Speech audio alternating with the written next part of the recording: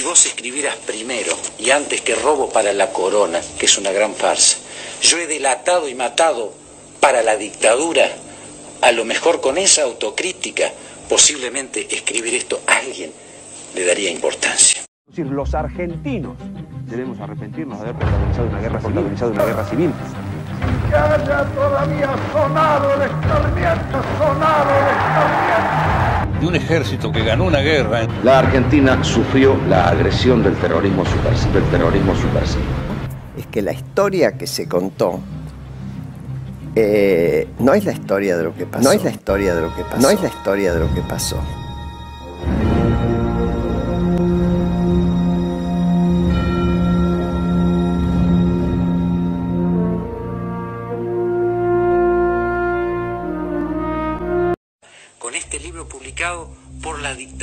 Estaba preso. Esto es lo que hay que decir en este país. Hay que terminar con esta hipocresía. No se puede seguir manipulando Berbisky. No se puede ser un militante de la izquierda que colabora en el 79 con esto y sigue vivo cuando muchos militantes de la izquierda cuando muchos militantes de la izquierda equivocados o no hoy están bajo tierra muertos porque dieron testimonio con su vida mientras el señor Berbisky hoy fiscal de la República le queda grande la toga tendría que ponerse la capucha del verdugo de tantos compañeros que mandó a la muerte hay que decirlo claro, el G2 cubano, la participación y la infiltración en las estructuras guerrilleras, oficial de inteligencia de Montoneros, Horacio, por Dios, terminemos con la hipocresía. Yo te digo sinceramente, los cristianos creemos en el arrepentimiento, los marxistas en la autocrítica. Si vos escribieras primero y antes que robo para la corona, que es una gran farsa, yo he delatado y matado para la dictadura, a lo mejor con esa autocrítica, posiblemente escribir esto a alguien le daría importancia. Yo he delatado y matado, yo he delatado para la dictadura, para la dictadura. Horacio Berbisky, de golpista en los diarios a propagandista de Onganía, segundo del Servicio de Inteligencia de Montoneros y colaborador del gobierno cívico-militar del 76. Y ahora con su picardía y astucia se vende como defensor de los derechos humanos. Comenzando su carrera periodística en noticias gráficas gracias al contacto de su padre, Bernardo Berbisky, que trabajaba allí, empezó a redactar el servicio meteorológico. Después de noticias gráficas, pasó por los diarios El Siglo y El Mundo, y ya en 1965, Timmerman llevó a Horacio al seminario confirmado. Este seminario se había creado con el objetivo de hostigar al gobierno de Ilia. ¿Por qué? Bueno, Timmerman antes de la creación de Confirmado había creado Primera Plana, donde fue un éxito editorial y promocionaba la figura de Onganía, que en ese entonces era el líder de los militares azules. Pero en 1963 gana la presidencia Arturo Ilia, que apoyaba o se llevaba mejor con los militares colorados. Timmerman deja la revista y se lanza al proyecto editorial Confirmado, donde sumó en sus filas a Bernardo Berbisky para la columna de cultura y a su hijo Horacio como jefe de redacción. El seminario sale en 1965 con la condición de crear el clima para derrocar a Ilia. Por primera vez, una revolución aparece asignada por lo positivo, por la nación, celebraba el diario confirmado el día que derrocaron a Ilia. Lo han sacado como un intruso, sentenciaba. Ya en 1967, Berbisky se convirtió en vocero muy bien rentado del gobierno de facto, operando desde la revista La Hipotenusa, financiada desde la Secretaría de Prensa de la Presidencia de Onganía. Es decir, Horacio Berbisky contribuyó desde la escritura al golpe contra el gobierno elegido democráticamente de Ilia y luego desde las páginas oficialistas como la hipotenusa cobró dinero del dictador Onganía, a quien había ayudado a instalar desde las páginas de confirmado. Ya en 1971 salió a la calle el diario La Opinión, bajo la dirección de Timmerman y con David Graeber como financista. ¿Quién era David Graeber? Bueno, él era un empresario banquero que participó en la dictadura de la Anuncia como subsecretario general del Ministerio de Bienestar Social y además fue asesor del ministro de Economía de Cámpora, José Gelbar, quien este último tenía estrechos contactos con montoneros. Más adelante, David Graeber estuvo envuelto en el secuestro de los hermanos Borm, ya que actúa como administrador de los fondos del rescate. Una vez instaurado Berbisky en el diario, colocó a sus amigos revolucionarios como Luis Guagnini, Pacurondo, Juan Gelman y Lilia Ferreira, que para ese entonces era la pareja de Rodolfo Walsh. Ya en ese entonces, la guerrilla se había convertido en un gran problema para la NUCE, con tomas en varios distritos de Argentina, con dirigentes políticos, sindicales y personal de seguridad asesinados y varios empresarios ya para ese entonces secuestrados, la NUCE crea la Cámara Federal en lo Penal, que fue un mecanismo legal para combatir a la subversión. Con el correr de los días, la NUCE al diario La Opinión le empezó a retirar los avisos, presionó a sus anunciantes privados y le puso trabas para la comercialización en las distribuidoras.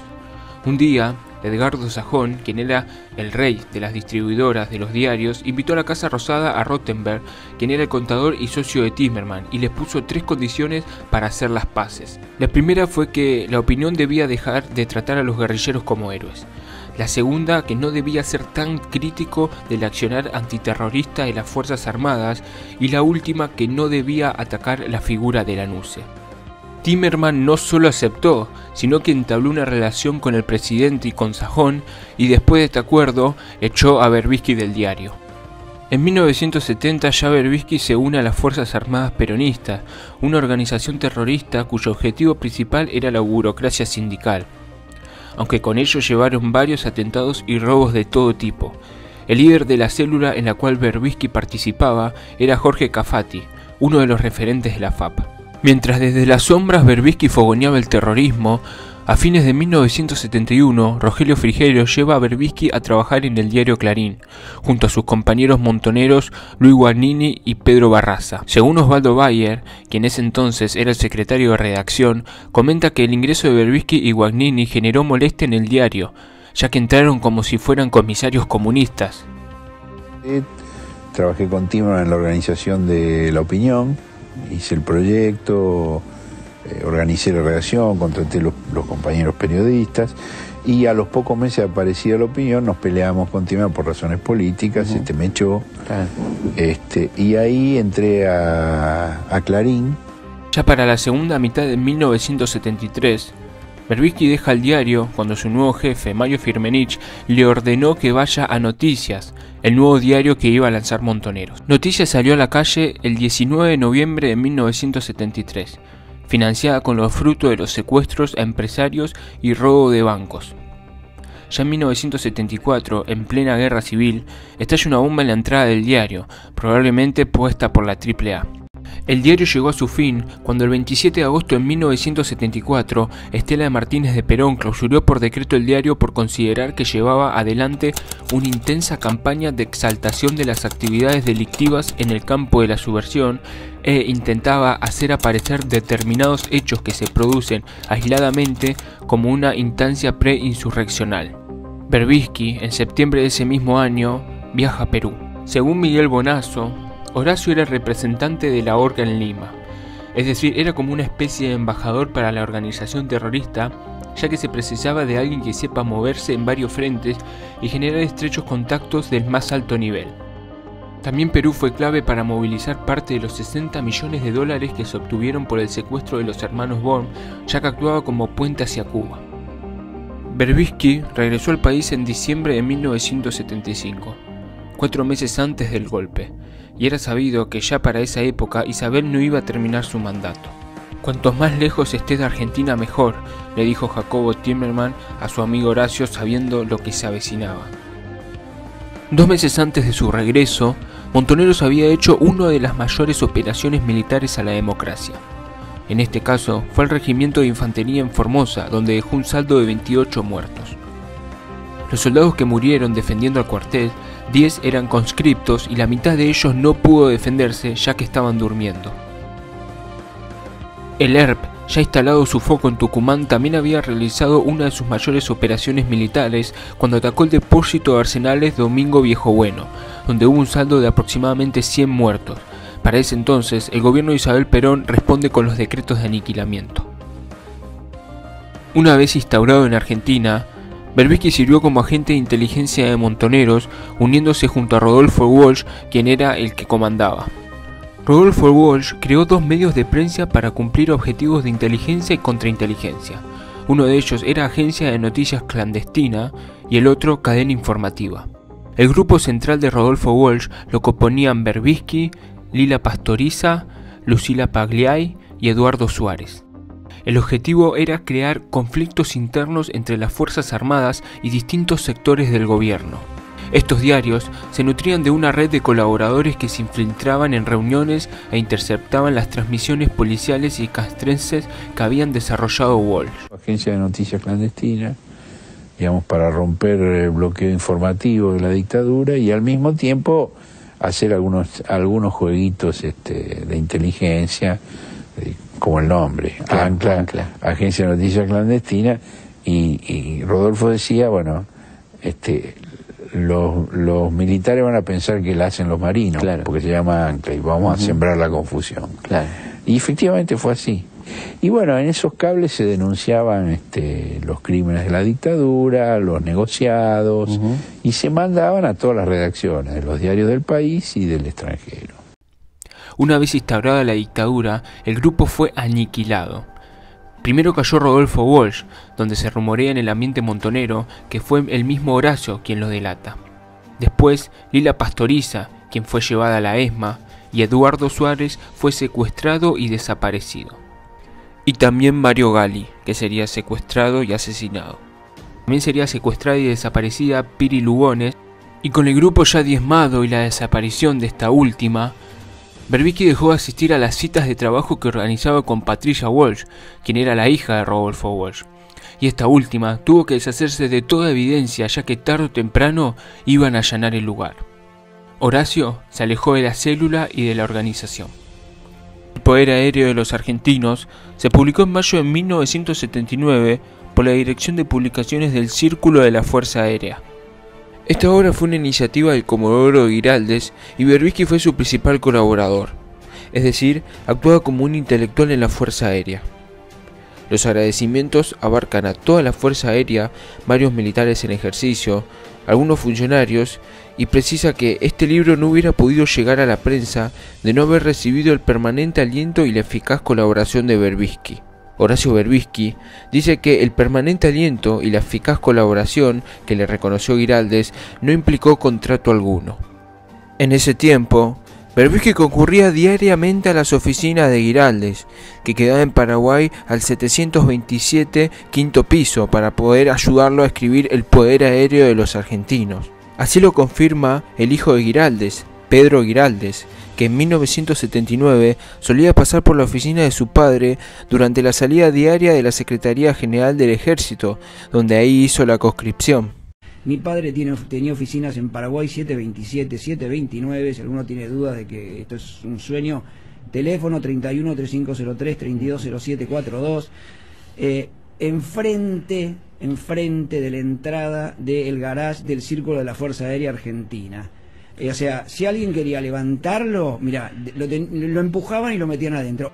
Mientras en 1979 escribía para el gobierno militar, iba a visitar diariamente a su padre al hospital y circulaba sin prevenciones y sin riesgos en los lugares públicos. Se ve que Berbisky no era muy perseguido ni tampoco se meraban en buscarlo. Una vez fallecido el padre, el presidente Videla envió un mensaje de condolencia que fue publicado en la prensa en 1979. Otra de las colaboraciones de Horacio fue cuando mantuvo una relación contractual con el Instituto Newbery, desde 1978 a 1982, para la escritura de una investigación sobre la historia de la aeronáutica nacional, además de otras publicaciones cuya editorial pertenecían a la propia Fuerza Aérea.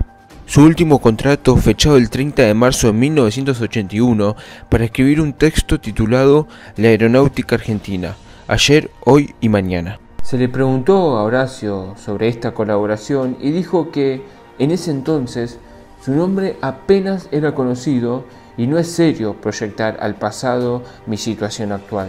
Resulta muy curiosa esta respuesta de Berbisky, ya que por un lado, en el 74, él dice que tuvo que estirar su estadía en Perú cuando se radicaba allí, porque el canciller argentino le había advertido al canciller peruano que si regresaba Horacio a la Argentina, la AAA lo iba a matar e iba a tirar sus restos a los bosques de Ceiza. Pero por otro lado, dice que en el 78 su nombre no era muy conocido. Tu exilio a Perú, ¿no es cierto?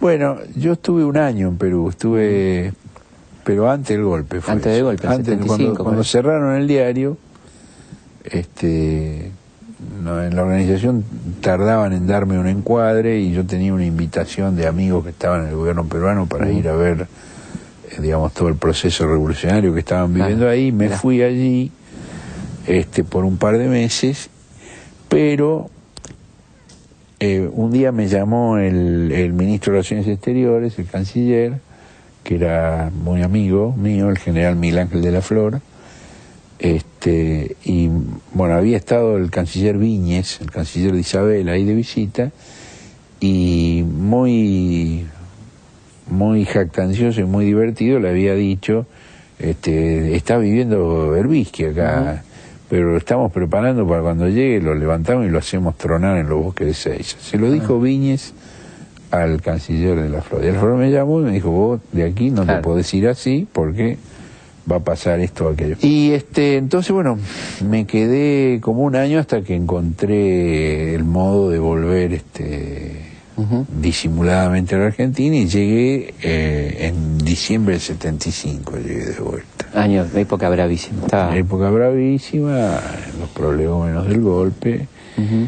Más que curioso, resulta muy contradictorio, sabiendo que en el 74 la AAA lo tenía en la lista de personas que, iban a asesinar, consideremos que una vez que asumieron los militares, la continuidad y la profundización de las prácticas de la AAA y del Servicio de Inteligencia de la Policía Federal ahora estaban bajo el mando de las Fuerzas Armadas y éstas aceleraron eh, con sus recursos y sus efectivos, aceleraron la guerra, además de, de la cantidad de información que ellos podían manejar ya que ahora tenían el aparato de, e, estatal y el servicio de inteligencia. Es decir, Berbisky en el gobierno peronista temía por su vida, pero en plena dictadura era apenas conocido, como dice él. Además, Berbisky afirma que el Instituto Newbery no tenía nada que ver con el gobierno. Pero Berbisky se equivoca, ya que el instituto tiene una relación directa con el comando en jefe. Además, otra de sus colaboraciones de Horacio para este instituto fue en 1978 cuando había sido contratado para escribir una breve historia de la aeronáutica argentina. Y el comandante en jefe de la Fuerza Aérea, Grafinia, había dejado constancia de un subsidio para redactar esa historia. Donde días después se firmó el contrato entre el Instituto y Berbisky. Pero como si fuera poco, esta no fue la única colaboración del entonces doble agente Horacio Berbisky. También llegaría a escribirle el último discurso al brigadier Agosti, miembro de la Junta Militar. Esto lo asegura el hijo de Giraldes, cuando dice que su padre escribía los discursos del entonces comandante en jefe de la Fuerza Aérea, quien era Ramón Agosti, y también de quienes lo sucedieron. También recuerda que un día su padre le comentó que Horacio había estado puliendo el discurso con el que en enero de 1979 Agosti dejó la jefatura de la Fuerza Aérea en manos de su sucesor, el brigadier Omar Grafiña. No solo lo afirma el hijo de Guiraldes, sino también que se mandó a hacer una pericia caligráfica de los manuscritos de Horacio Berbisky y aquellos discursos a Ramón Agosti y Grafiña y la pericia destacó, entre muchos aspectos, la reproducción de los mismos automatismos y movimientos de manos, las similitudes en los trazados de diferentes letras y las concordancias en la manera de plasmar y combinar los diferentes trazos constitutivos.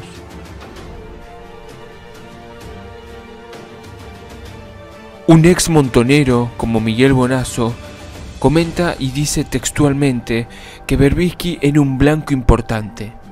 Si yo, dentro de la organización, era un suboficial, pero para el enemigo era un general, Horacio Berbisky también tenía que ser un general para el ejército. Y si Guannini fue un tipo chupado por el ejército, Berbisky lo tenía que ser también.